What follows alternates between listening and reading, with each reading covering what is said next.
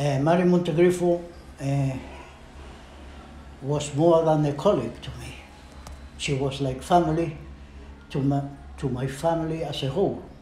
She was like a sister to me and a sister to my wife.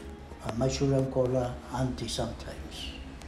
Uh, it's a, gra- a great loss that we have had with the passing of Marie, not only as a politician, but as a human being.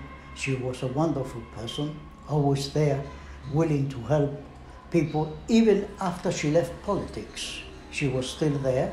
We had long chats on the time that we were in government and, and also on the current affairs of politics today in Gibraltar. Mm-hmm.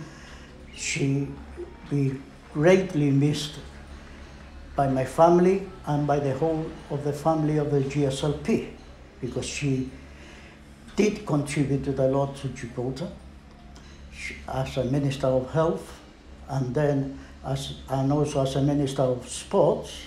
She was the first lady mayor in Gibraltar. She also contributed to that. Uh, during the problems that we had in 1988, which she, she took then the Ministry of Health, she did a, a lot of reforms within the hospital, and she also on sport, she was the, for the first time the Island Games Gibraltar under her stewardship. Uh, she was a wonderful person, always there, willing to help. Uh, I had a great relationship with her uh, within the government. We started uh, together in the union in the 1970. We were both in ACTS, which was a branch of the Transport and General Workers Union.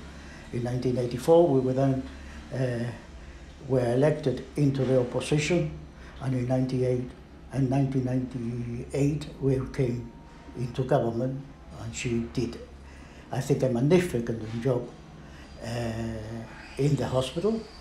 She was always willing, and she was one. She was a true socialist.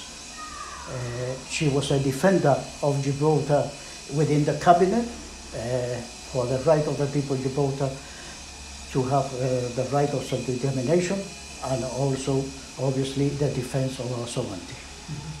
Marie Montegriffo must be remembered, not only by the GSLP family, but as Gibraltar as a whole. And, and, my, and I have to give my deepest con- condolences to her partner, uh, Ghislaine, her brother, uh, Christopher, and her sister, Annette. And I think that the whole of Gibraltar uh, have that condolences to the whole of our family and also not only and the GSLP has had a great loss.